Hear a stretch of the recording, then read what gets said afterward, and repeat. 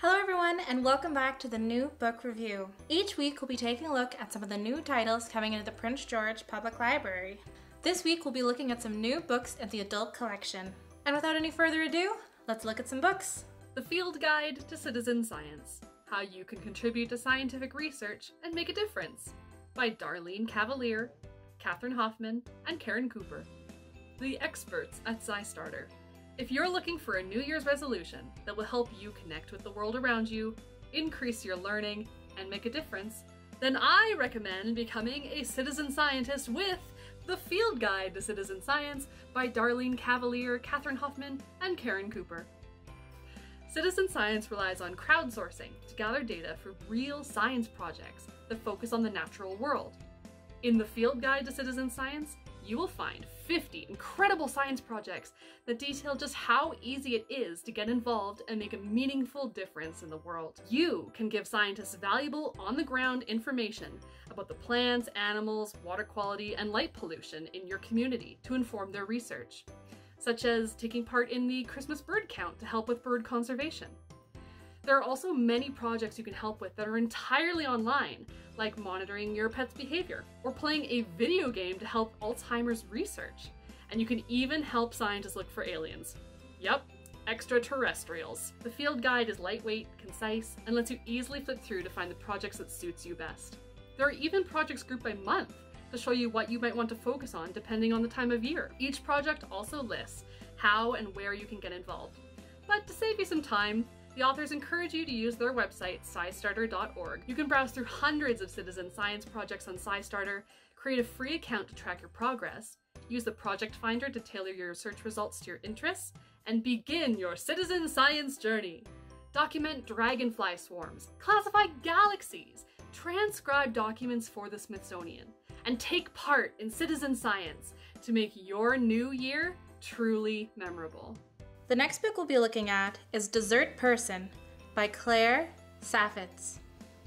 In her first cookbook, the star of the YouTube series Gourmet Makes offers up wisdom, problem solving skills, and more than a hundred meticulously tested, creative, and inspiring recipes. Claire is a baking hero for a new generation. In the book, she offers problem solving solutions for each recipe, like what to do when your pie crust cracks, as well as practical do's and don'ts, bake time, prep time, and foundational know-how. With Claire by your side, everyone can be a dessert person. The layout of the book also helps any baker find a recipe just for them.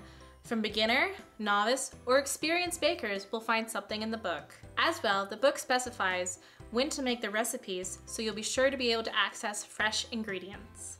Claire writes beautifully and clearly, her passion for baking shining through every page. So pick up Dessert Person and become the baker you've always dreamed of being.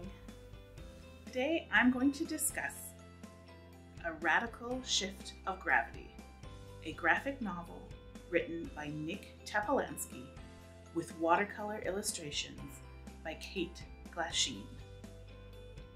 This graphic novel begins with Noah Hall a young journalist, father, and husband trying to document the most significant event in global history the fact that the Earth's gravity has begun to disappear and will perhaps disappear altogether.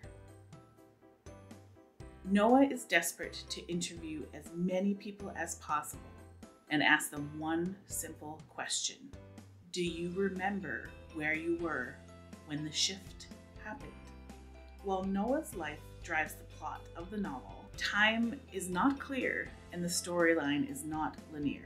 We float around in Noah's life, and the only clues to the change are in Kate Glasheen's art, through the change in Noah's hair or a subtle shift in her colors. This loose timeline is much like the change in gravity itself.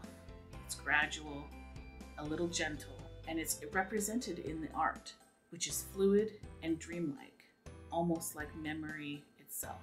I couldn't help but notice how much I related this novel to living through a global pandemic, and I'm so sorry if you are sick to all of your books and movies being compared to this experience. But I was fascinated about how such a quirky premise could be so relatable especially the portrayal of people who choose to adapt readily to the change, uh, such as creating a new sport, or those that push to keep something as familiar as possible, such as those characters that create a no floating community by inventing new technology. This is not your average science fiction graphic novel. A Radical Shift of Gravity is a science fiction fable, a graphic novel that explores the ties that bind a family together, the forces that threaten to pull them apart, and the quiet beauty of a world where everyone is floating away.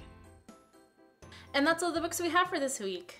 The new book review will only be airing every second week, so in two weeks from now, we will be reviewing some children's materials. And with that, thank you so much for watching, and don't forget to check out these books.